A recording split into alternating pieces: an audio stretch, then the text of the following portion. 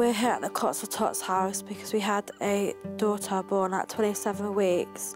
She's 13 weeks premature and she's in intensive care room to support her to grow and to make sure she's ready to come home.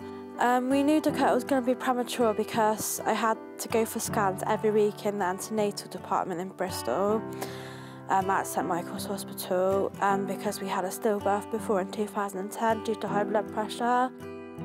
We've been here three weeks so far. It's so close. If there's an emergency with Dakota, we can just literally get out of bed in the middle of the night and run across the road and go see her, support her and hear what the nurses have got to say if she's got taken ill.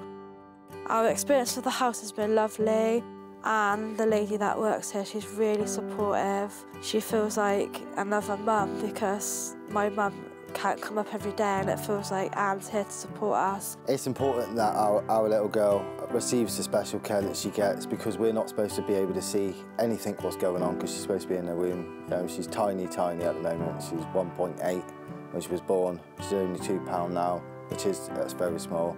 She means everything to me because having to bury a child it's horrible, but to have one now that's going strong is absolutely amazing. I couldn't be any more happy with my life at the moment.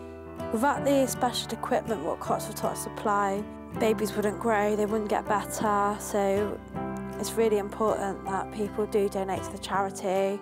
Try and get involved as best as we can um, to raise money, to help, you know, for other families, not just ourselves. Our little girl means the world, we can just watch her grow, you know, and watch her get better.